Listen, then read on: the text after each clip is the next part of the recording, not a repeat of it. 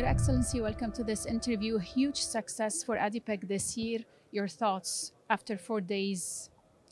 I'm personally very happy, and uh, and we are all happy uh, to see the world convening again uh, at this magnitude uh, and this diversity at ADIPEC. I think I think this is a demonstration of uh, the interest of the whole world in uh, in in energy and in oil and gas.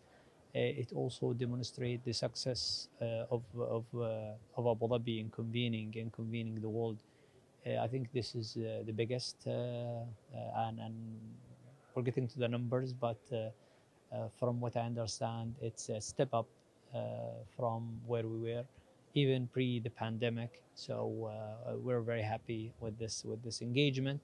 We have also heard about a, a mega deal in the renewable energy in ADIPEC, the 100 billion dollars joint commitment between the United Arab Emirates and the United States uh, in developing uh, renewable energy.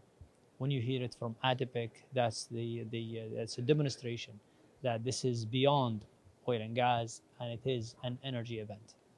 Your Excellency, the UAE is investing heavily in its workforce, the uh, future leaders. What can you tell us about it? Well, those are the wealth of the nation.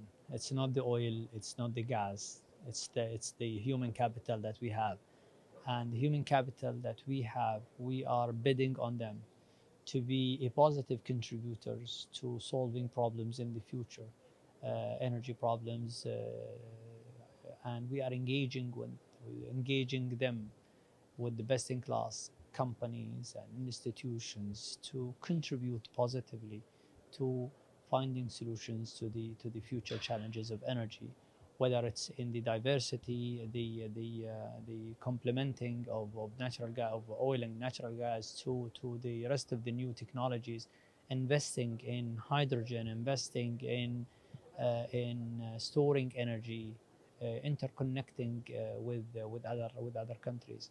So with them, the idea starts, and with them, and from them, the solution will come, and we're hoping that them engaging with more than 2,200 exhibitors and company from from 160 companies. People are coming. That engagement, we're hoping it will uh, address some of the challenges and find solutions. ADIPEC in Abu Dhabi keeps on amazing us with uh, events hosting the world here in Abu Dhabi. What's in for next year? Well, uh, no matter how much we predict and next year is going to be greater because next year we have COP28 and uh, next year uh, we will show the world that we our commitment and hopefully we are also working on uh, we will be also having the, the, the revised the first revision of the UAE energy strategy 2050 which hopefully will have a positive surprises when it comes to uh, the diversity of energy and more contribution from greener forms of energy toward a net zero. So all of these are coming next year. So next year is going to be an exceptional year.